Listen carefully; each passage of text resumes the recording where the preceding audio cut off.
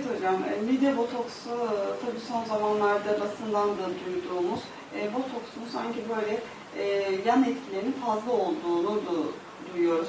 İşte geçen Beylikdüzü'nde e, bir hanımefendinin e, botoks yaptırıp da hayatını kaybettiği. Peki böyle risklerle de karşılaşılabiliyor mu?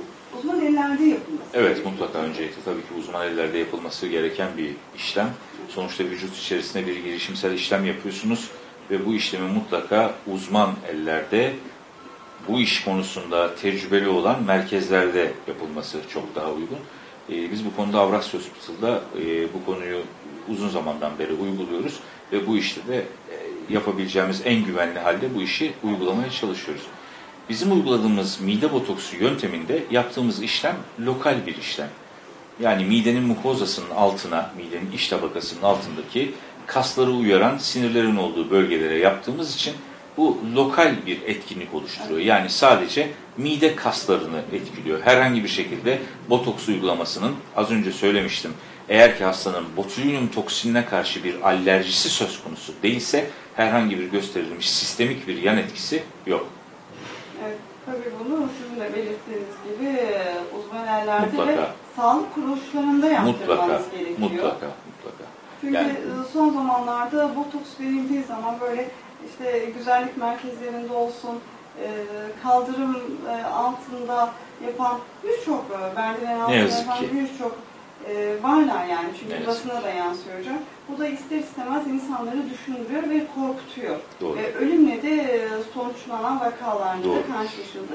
O zaman e, ekranları başındaki izleyenlerimiz ne yapacaklar? Sağlık kuruluşunda ama güvenilir sağlık Mutlaka kuruluşunda. güvenilir, bu konuda tecrübeli Evet.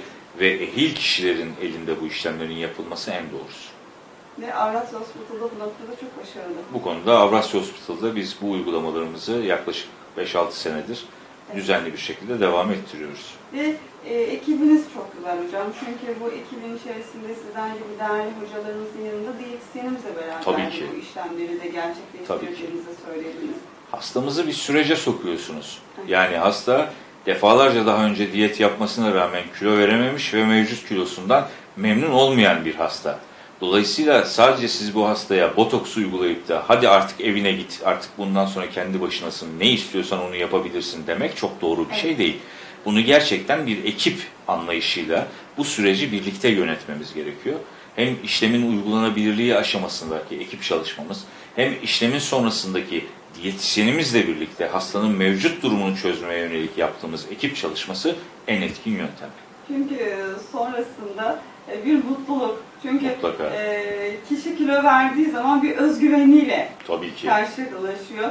E, biraz da kendisini estetik anlamında güzel hissetmesi, güven vermesi de çok önemli. Mutlaka.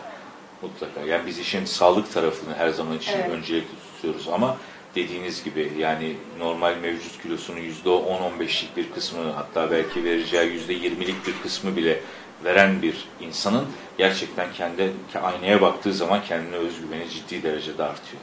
Ve moraliniz güzel olduğu zaman da e, üst safhada olduğu E, zaman da ki. biraz ra- hastalıkların önüne geçebiliyorsunuz. E tabii ki yani işte birbirini bir e, E, tamam diyor. gibi düşünün. E, çarkın bütün parçalarının yerinde olması lazım ki siz hayatınıza rahat, mutlu ve sağlıklı devam edebilin.